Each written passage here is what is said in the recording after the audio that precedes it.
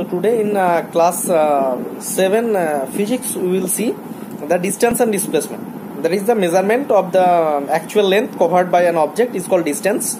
And distance is a uh, scalar quantity.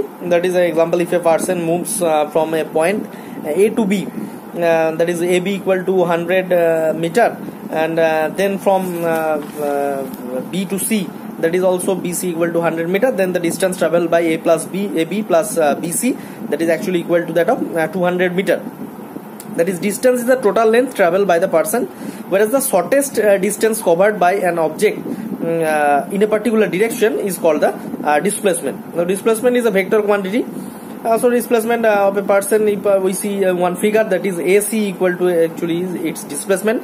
The magnitude of AC can be calculated by the Pythagoras theorem. That is by AC equal to root over of AB square plus uh, BC square. So in figure we will see uh, this one.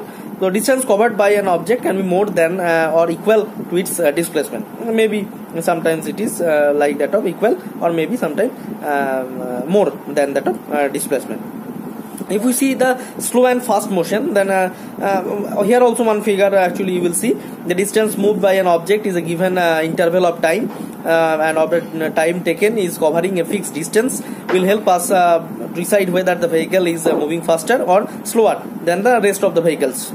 So here actually in figure you will see vehicle D moves the fastest as it covered the distance of 500 meter in uh, 19 second and vehicle B moves uh, with the slowest at the covers the same distance within the uh, 25 second. So these are the figure by which we can understood.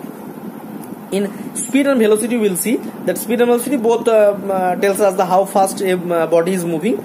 So if we see the speed, that is the distance covered by a body in unit time is called its speed speed is a scalar quantity and we say the object is moving at a speed of 5 uh, 50 km per hour it means the object uh, covers 50 km in 1 hour that is speed equal to distance by time SI unit of speed will be a meter per second.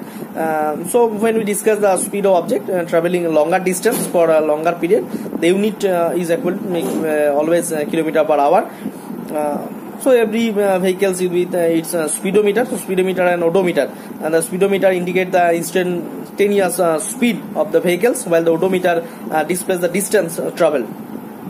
Whereas in case of velocity, is the body displacement of body uh, body um, is the displacement of a body in unit time in a given direction the velocity is equal to vector quantity and velocity is always uh, like that of displacement by time that is v uh, arrow should be there uh, which direction it is going?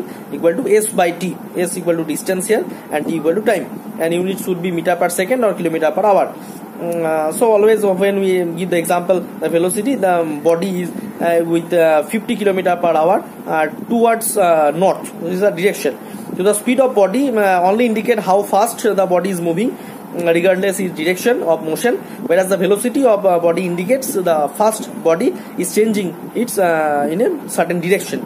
So these are the uh, value by which we can understood the velocity and speed. So today up to that